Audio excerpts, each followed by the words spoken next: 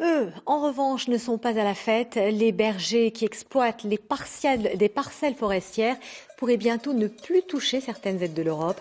Une telle décision serait une catastrophe pour ces paysans.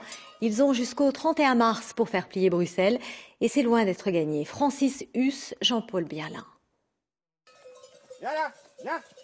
Le coup est rude pour cet éleveur et son troupeau de 400 têtes. Si la décision de Bruxelles est appliquée, c'est toute son activité qui est remise en cause. C'est une présence dans les, dans les espaces euh, boisés qui risque de s'embroussailler si on n'y si on va plus. Euh, c'est une prévention par rapport aux incendies, c'est voilà, un entretien de l'environnement. Et au départ, euh, l'Europe a beaucoup tenu compte de ça. C'était pour ça qu'ils nous soutenaient. Sans aide, les terres peu productives seront abandonnées et les conséquences désastreuses. S'il n'y a plus ces aides, on ne pourra plus le faire ici. Quoi. Il faudra aller sur une autre ferme avec des, prairies, euh, avec des clôtures. Ce sera plus pareil. Quoi. On utilise des, surfaces que plus personne euh, d'autre n'utilise. Dans le Var, c'est vraiment le cas. Le Var, c'est 75% de la surface du Var qui est boisée.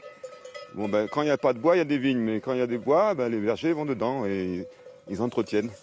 Mais pour la Commission européenne, les surfaces avec moins de 50% d'herbe ne seront plus des surfaces agricoles éligibles à des financements lors du prochain vote de la politique agricole commune. Ils sous-entendent supprimer euh, ces aides-là. Donc ça veut dire qu'il y a des exploitations, il y a des fermes qui vont perdre la quasi-totalité de leurs aides du jour au lendemain, parce que là on parle pour l'année 2018. La France a jusqu'au 31 mars 2018 pour dire à la Commission européenne si elle souhaite améliorer la reconnaissance de ces surfaces pastorales et les sécuriser. Dans le cas contraire, si les aides sont suspendues, le coup d'arrêt porté au pastoralisme risque bien de lui être fatal.